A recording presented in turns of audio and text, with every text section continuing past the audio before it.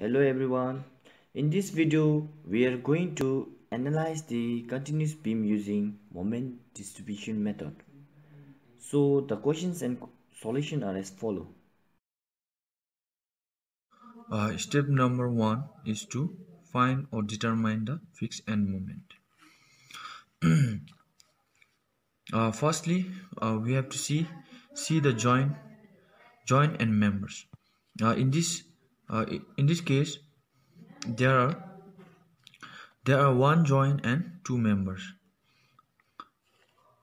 Member A and member B, and other one is member B and member C. Uh, and consider every joint or support as fixed.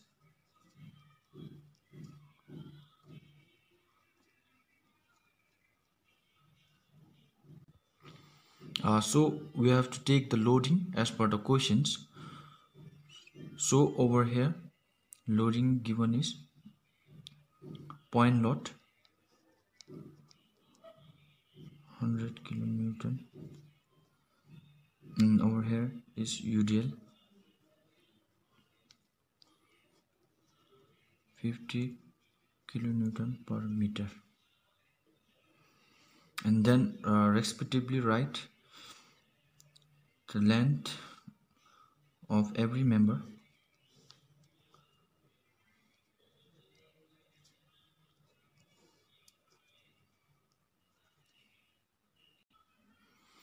And always take moment left hand side as a anti-clockwise or negative and right hand side as positive or clockwise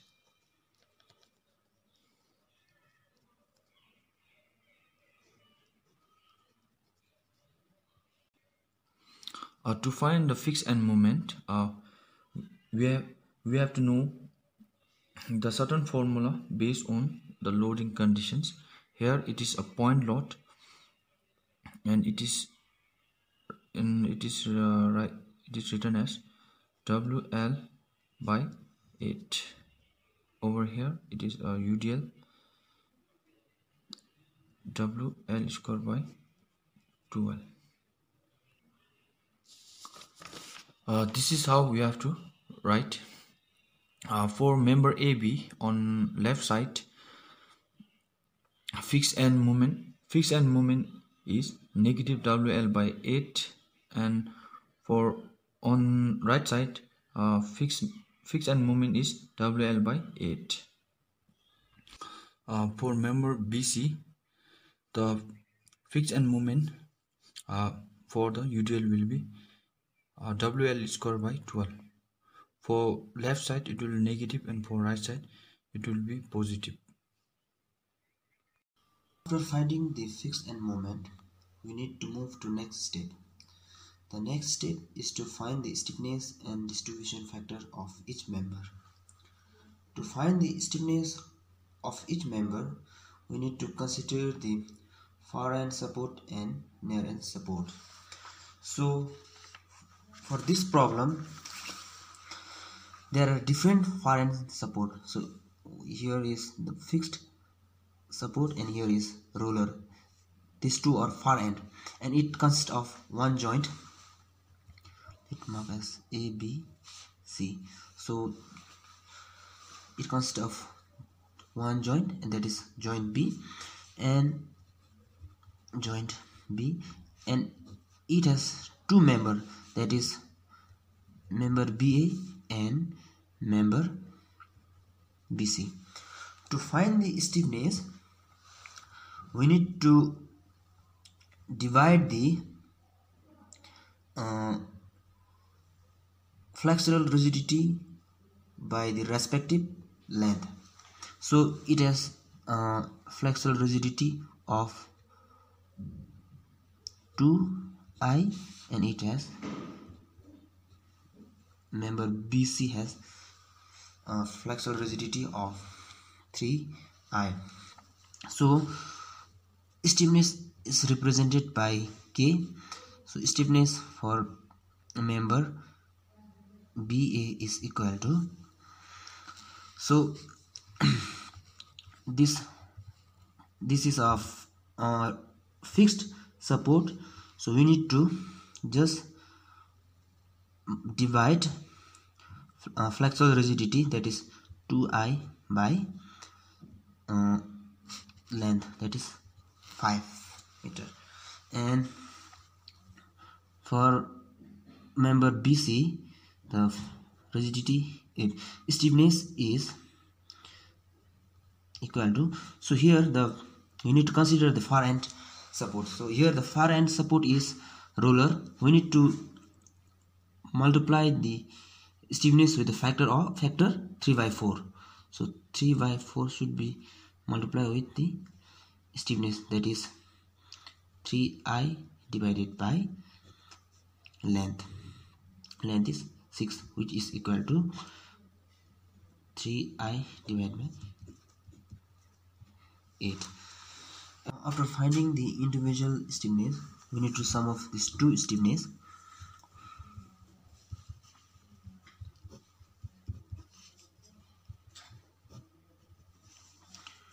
Is equal to 31 I divide by 40 so after that we need to find the distribution factor for each member. So how to find the distribution factor? Distribution factor is equal to individual st stiffness divided by total stiffness.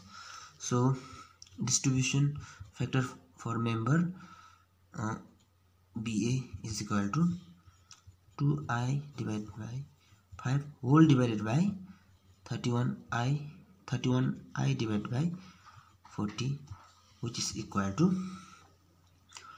uh, 0 0.52 then distribution factor for member BC is equal to 3i divided by 8 whole divided by 31i divided by 40 which is equal to 0.48 so to check whether it is correct or wrong we need to just um, add these two distribution factor.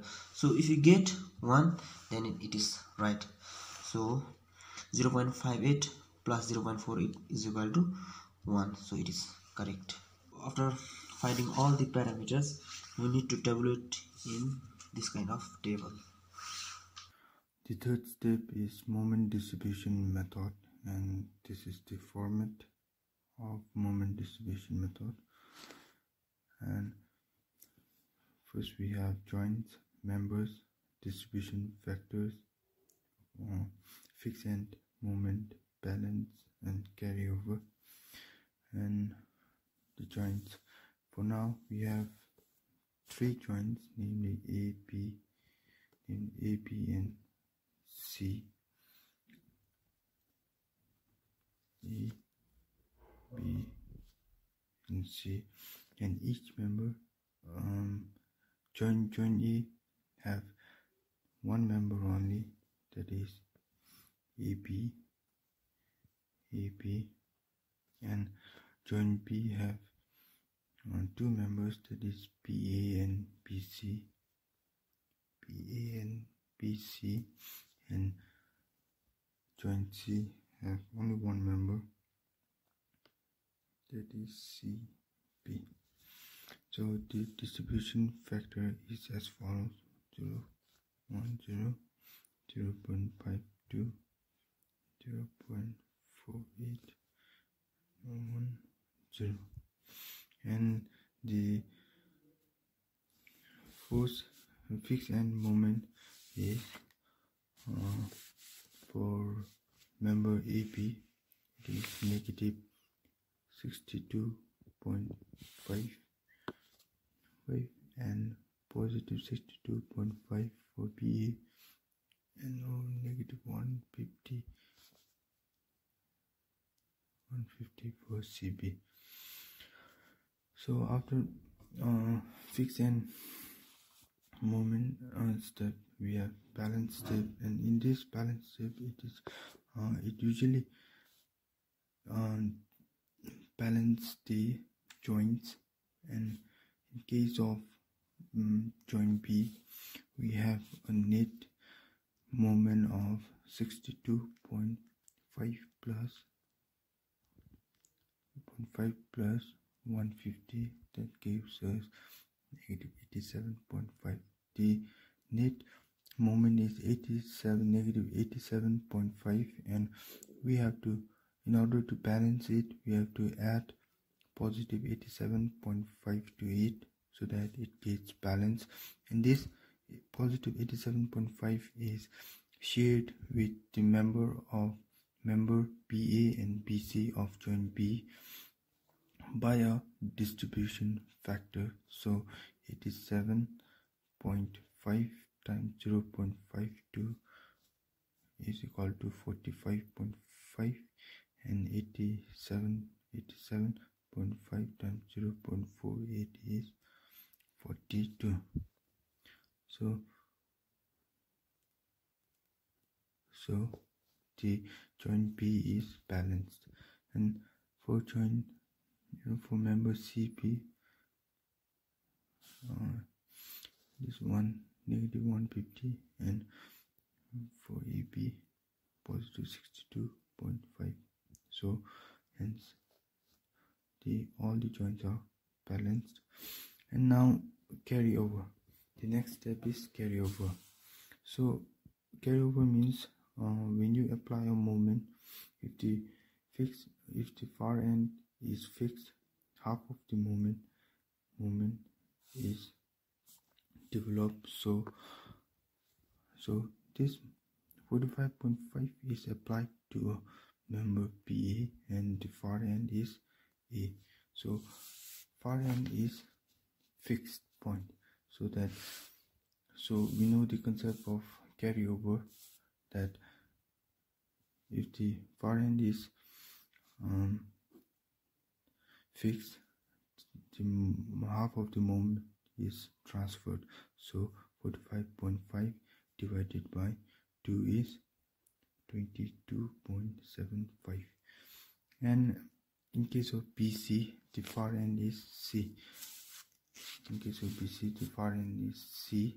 And this support is uh, intermediate support and which can be recruited as uh, fixed support. So therefore 42 divided by 2 is 21 positive 21 so again balancing. Again we have to balance the joints.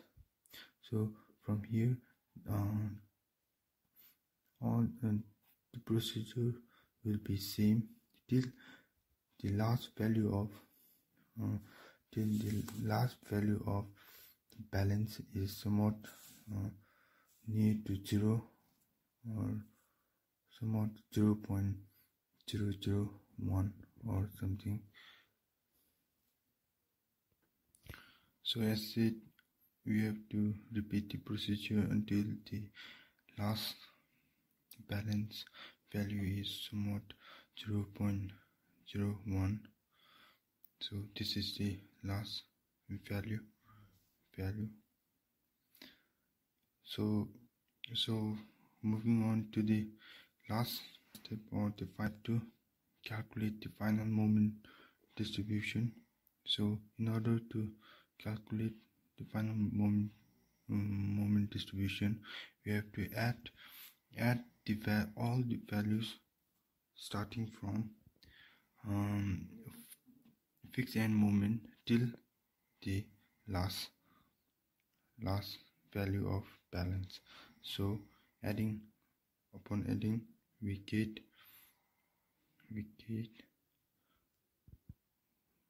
14.449 here negative 14.49 158.52 negative 158.52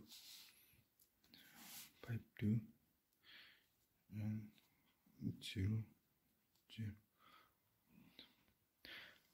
this is the final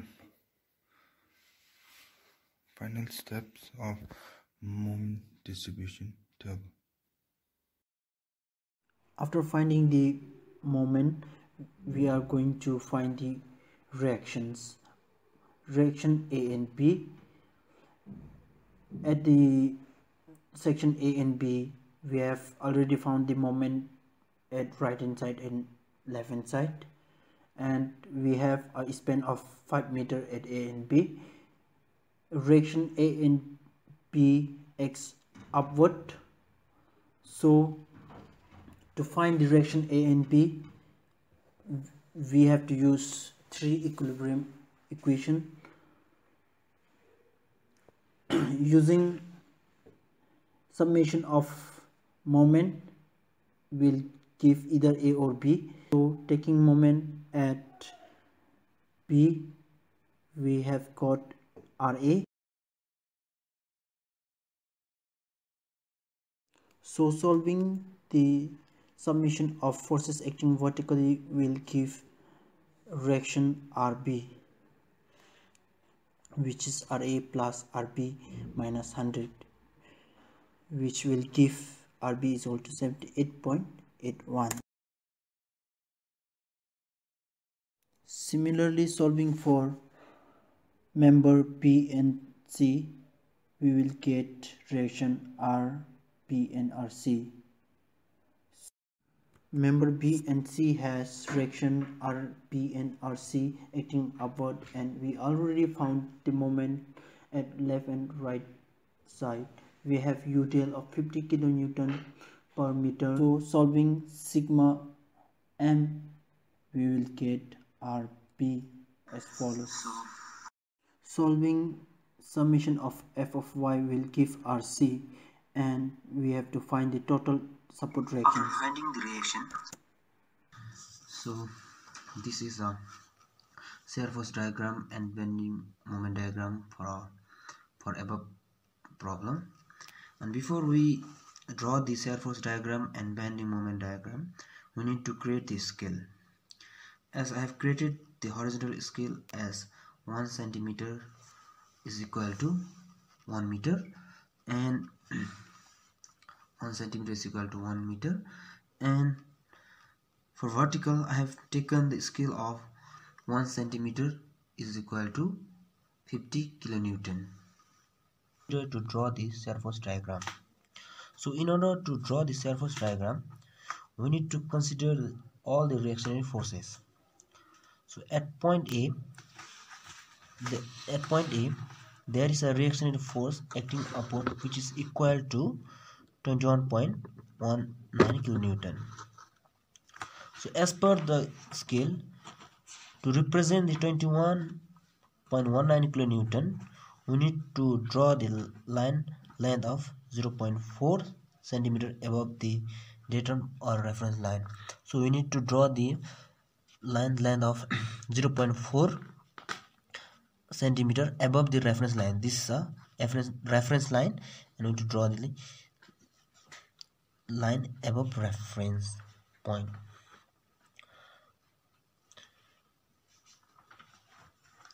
Then till this point there is no additional force over here. So we need to draw the straight line till this point. So after reaching here there is a one point load which is acting downward so 21.19 kilonewton should be subtracted by the uh, 100 kilonewton because the force is acting downward so when we subtract 21.19 with 100 kilonewton we will get negative uh, 78.81 kilonewton. So in order to represent this we need to draw the line length of 2.5 centimeter below the reference line. Then till point b till point b there is no force. So we need to draw the straight line. Where there is no force we need to draw the straight line. So after reaching at point b there is another reactionary force acting upward which is equal to which is equal to 255.23 kilonewton. So this force is acting upward and this force should be subtracted from 70 this force the this sorry this force is acting upward we need to add this force with the negative 78.81 kilonewton. So when we add this force with the 78.81 kilonewton we'll get 76 176.42 kilonewton. So we need to represent the 176.42 kilonewton we need to draw the line length of 3.5 centimeter above the datum. Point b to c there is a udl load which is acting downward. So first we need to convert the udl load into point load. So in order to convert the udl load into point load we need to just multiply 50 with the length. The force into length will convert the udl into load. So when we convert this udl into load we will get uh, 300 kilonewton. So when we so after converting the udl into point load we need to subtract the uh, 300 from 176.42 kilonewton as the udl is uh, acting downwards. So we will subtract the 300 from 176.42 we will get negative 123.58 so we will get 123.5 now we will connect this line till here. Again yeah, at point c there is another reactionary force acting upward which is equal to 123.58 so when we add 123.58 with the negative 123.58 it comes 0 so from here we will draw the line till here. Finally we need to find the bending moment diagram. So in order to find the bending moment diagram we need to consider the final moment which is obtained from moment distribution. So first we need to draw the horizontal line. So this horizontal line which will act as a general reference. So after that we will create another reference line to draw the bending moment diagram. So in order to create the another reference line so this this line is the next reference line. So in order to create this next reference line we need to consider the final moment. So first at point a there is a final moment which is equal to 14.49 kilonewton meter. So we need to plot this moment using the scale. So to represent the 14.49 we need to make a line which is equal to 0.3 centimeter. Next at b there is a final moment which is equal to 158.52 kilonewton meter so here to plot this to draw this line we will not consider any uh, sign whether it is negative or positive. We will write the line we will draw the line above the general reference. So this is general reference and we will draw the line above the general reference. So at point c there is no final moment. So it is equal to 0 then we will connect this point and it act as a general it act as a reference to calculate or to draw the bending moment diagram. After that we will calculate the maximum moment for individual load. So Uh, between point a and b there is a point load which is equal to 100 kilonewton. So to calculate the moment maximum moment the formula is to calculate the moment w l divided by 4 w is load which is equal to 100 and l is length which is equal to 5 meter here here is 5 meter divided by 4 which is equal to 125 kilonewton kilonewton meter. So to represent the uh, 125 kilonewton per meter the maximum bending moment will the maximum moment for this point load will be at the, at the mid span.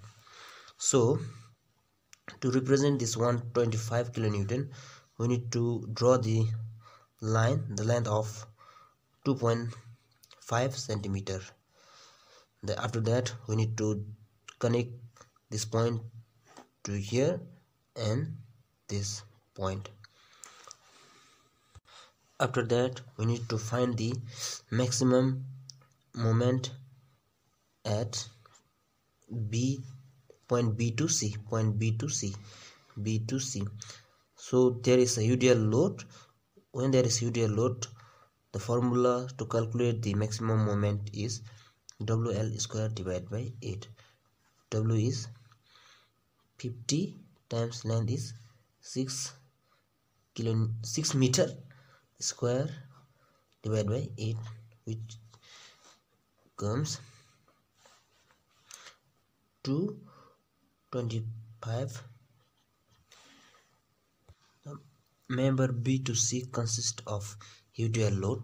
So to find the maximum moment the formula to calculate the maximum moment for the udl is w l square divided by 8 so w is 50 kilonewton times length is 6 meter divided by 8 which gives 225 kilonewton meter. So the maximum moment will be the at the point where there is zero shear force. So at this point there is zero shear force.